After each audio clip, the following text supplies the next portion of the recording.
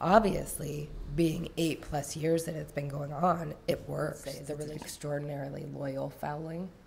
When the pandemic happened, there was a lot of real, like, just distress that there wouldn't be, even to the point of, like, well, can't we have them outdoors? We have a bartender who is a great singer, and almost every week Yeah. uh, she works and she'll sit in and sing a couple songs with the group, which is Yeah. it's always nice. For our in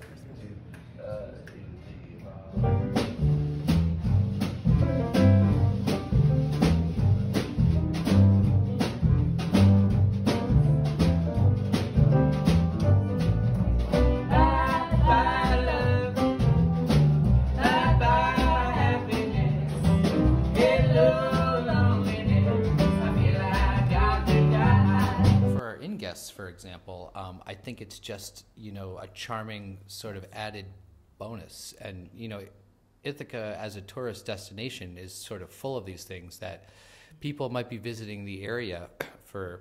uh, You know, a totally different reason, and just sort of stumble across one of these, you know, charming aspects of our community.